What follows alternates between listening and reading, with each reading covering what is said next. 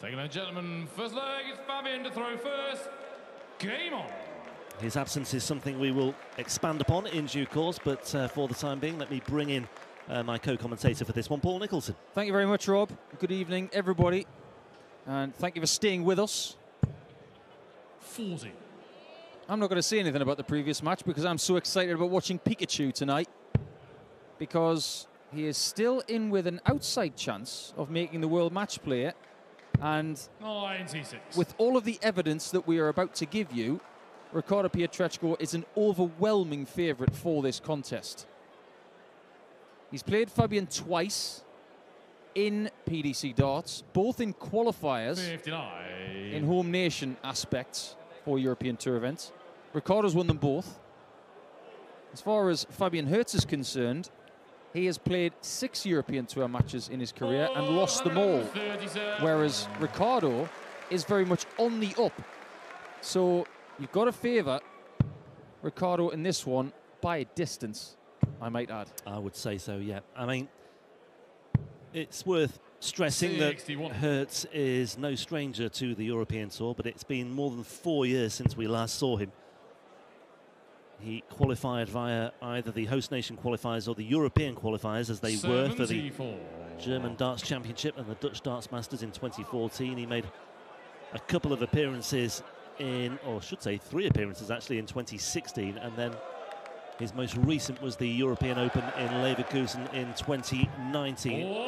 Lost in the first round on each occasion, so he's looking to break a, a duck this evening.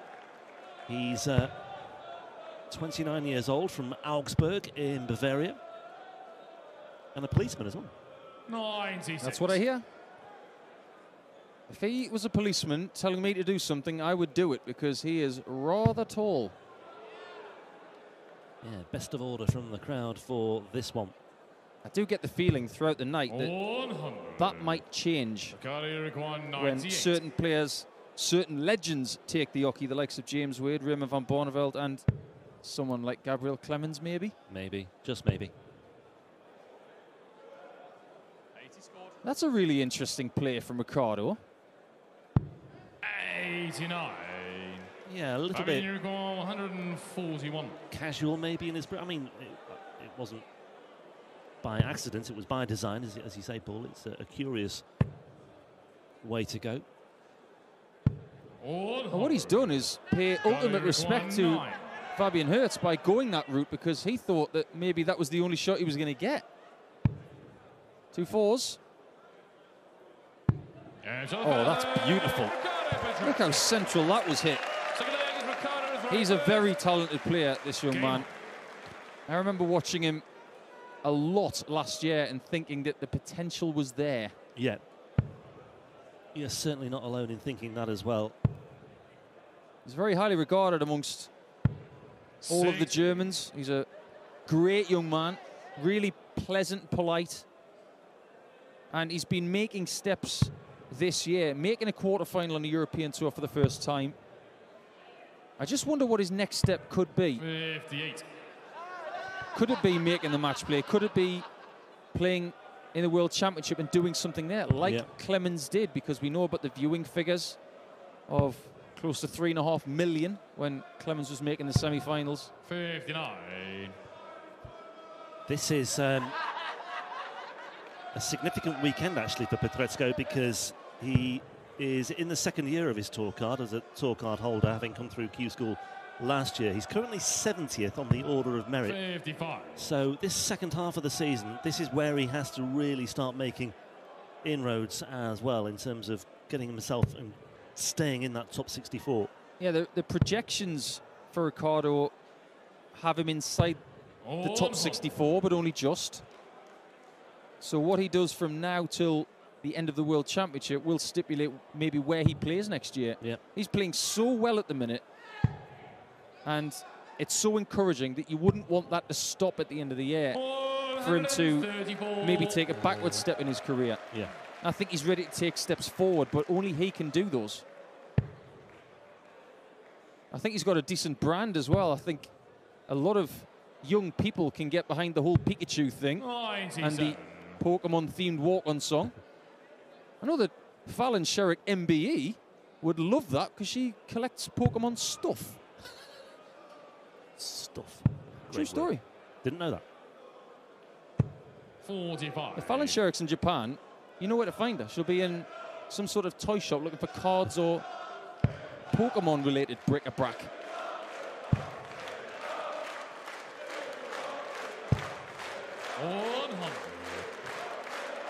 I notice they're standing up because they love the darts now. Well, to be fair, they did give this one rendition in our first match. I thought it was a nice touch, actually. I thought it was a nice way just to reassure the two players on stage, if you, if you, if you catch my drift. I think maybe there was a feeling of antipathy towards the two, and it was just a nice way of showing a bit of love for the And do players you know on what? stage. I don't want to go on about it too much, but I think if you were to interview Marko right now to get his views, he'd get more attention than ever because 77. Kantele doesn't get a lot of attention, even when he's been one of the best Finnish players in history. But after a game like that, I'd be really interested to get his thoughts. Yeah, As far as Pietreczko is concerned, he's looking to replicate what happened in leg one. yeah, double four is the target once again. require eight. for Pietreczko. Took it out no bother when he was on a finish of nine. This time he's on a finish of eight. shot And, well, it's the same outcome. It's a hold of throw, Fabian to throw first. Game on. and it's 2 0. And just to give you an insight into Fabian Herz, this year he's only played, from what we can tell, in home nation qualifiers. Yeah. He doesn't go around the Challenge Tour. He doesn't do anything like that anymore. He's a part-time dart Oh. player, and just getting here is an achievement. But Yeah. if you were to ask him about his ambitions, he would just love to win a game on that stage in Germany. I think because of the nature of his work, the time oh. commitment clearly isn't there for him. But I mean, you look at his latest qualifying, or the qualifying that he had here for this particular tournament.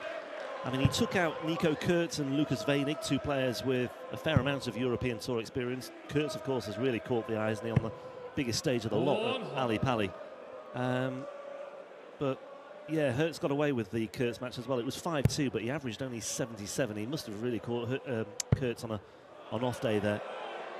Now then, 140. I mean, his opening match he played Till Stein, and he won 5-0 with an average of just over 80. Stein averaged 62. So he got off to a helping hand, or he was given a helping hand in his opener. Well, that gives you in indications of how he's playing now. 41. If you want an indication of how he's done on the stage prior to this, the most amount of legs he's got in a match is three. He's been bageled a couple of times, Yeah. but his highest average on the stage is 86 100. When he played Jermaine Wattimena in the 2016 European Darts Grand Prix. So that kind of level would be gobbled up by a very efficient Pietreczko, but at the minute, he's coasting at 89 45. and believe me, he can find 15 more if he needs it. I don't think Fabian could find 15 more on an 86. Bearing in mind he's only averaging 71 at the minute. 98. And this is a difficult game for Ricardo in the manner that he doesn't want to be dragged into a bit of a slugfest like we saw in game one tonight. He wants to plod along, do his thing, get some five and six visit legs, and that will be enough. And if that is the case, you can think about Dimitri Van den Bergh tomorrow when he wakes up. Yeah. Just another footnote on that first match, by the way. We'll just see if Pietreczko can take out this uh, 63, double 12 here, or double six for a 3 0 lead, and a second break of throw. 57. May well return Fabian with Rigaud, 157. Herz on 157.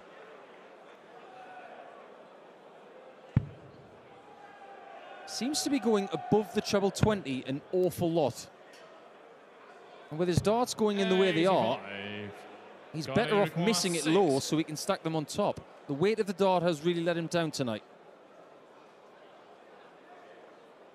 Game shot third leg. Bang in the middle. That was a nice Fourth leg is Ricardo to throw first. certainty about the way he executed that one. Yeah, just the. Uh, well, I'm sure there'll be numerous statistical footnotes on our opening match of the evening, but uh, Kantele with that average of 71.85 and with uh, his opponent, Mindel Lawrence, averaging 71.43, a combined average of 143.28. Uh, the lowest combined average in terms of history. That was the fifth lowest in a first round match on the European Tour, or last 48 match on the European Tour. So I won't lie, social media in the 48 minutes that that game was going on was quite amusing. Everybody was quite creative, so bravo, most of you. 83. Keeping darts entertaining even when it is a little bit attritional. Yeah. Uh, Rowby-John Rodriguez against uh, Tomas Seyler. Uh, combined low average of 138.2 uh, in their match in 2014 in the European Darts Trophy. The pretzels are back. They've been very popular today, those pretzels. Might have to get us some tomorrow for me, you and Dan to see what, what Yeah, the fuss we'll- is about. We'll investigate. But will they beat the chips from Belgium, though, Rob? Never. I thought you'd say that. Unlikely. Very unlikely indeed. And I don't think Fabian's going to beat Ricardo. I know that I've got to be impartial here, but based on what I'm seeing right now, I do not see Ricardo worried. I see him confident.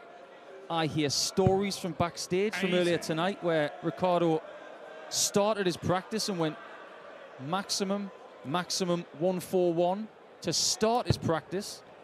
Yeah, I don't think he's going to be too perturbed by anything tonight. Three finishes so far, though 9, 8, and 6. I wonder if we're going to have a, a clean sweep of single digit finishes Do you know from uh, We- Pikachu, Pikachu. We had a game earlier today that all the finishes were low. I think it was Lukeman's game when he was playing against Graham Hall. 60. But in card playing terms, the finishes in this match, it's like playing Razz. That's where you want to have the worst hand. The worst hand wins. Yeah. I think the, the best hand you've got to have in Razz is something like 94. seven, six, five, four, two, because it's not a straight and it's a rainbow. That's what Ricardo was up to in this game. And if he gets the 84, 55. he completely 84. puts that to bed. Well, this might just change things as far as the finishing is concerned. Let's see how he fares. Double 11. Oh, well, it does. Puts that one to bed. 84, the check out there. And again, very sure footed on the finishing. 11.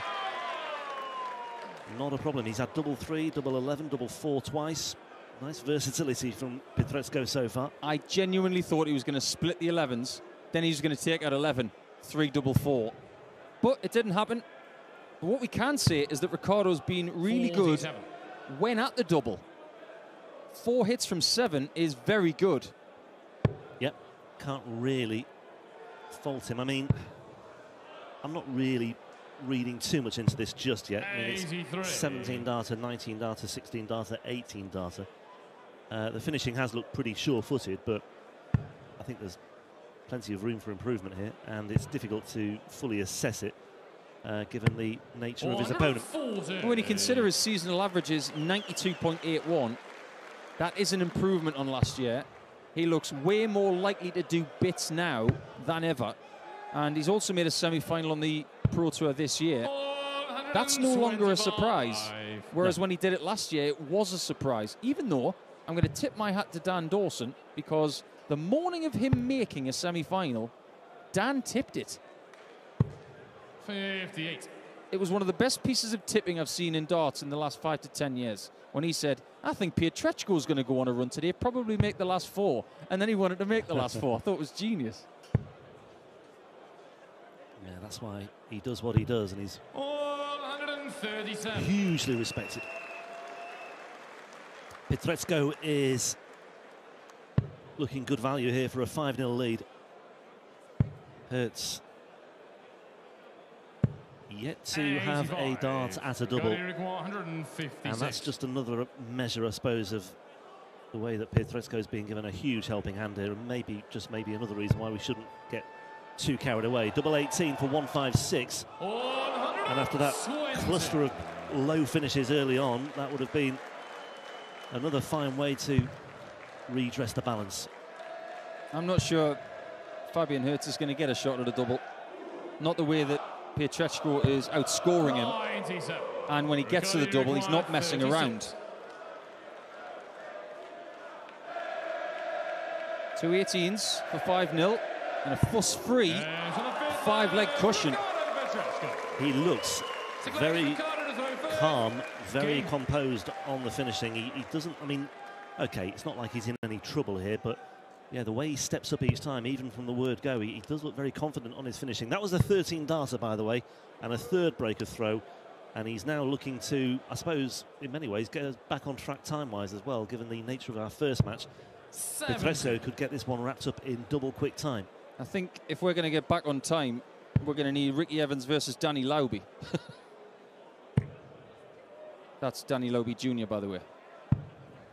83. There you go. No darts at double for Fabian. 56% for Ricardo. That's really good.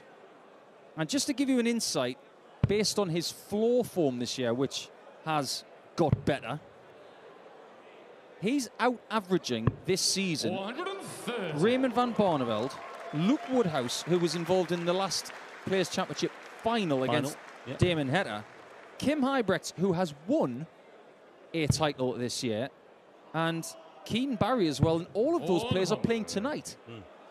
So that gives you an indication of just how we regard him. It's not just because we think he's good, he's proving that he is good. 97. Yeah, I think you're right. I think that will give us a, a, a really good barometer of where we're at, really, with uh, Pietreczko and the, and the rest that you mentioned there. And there are more German players coming through.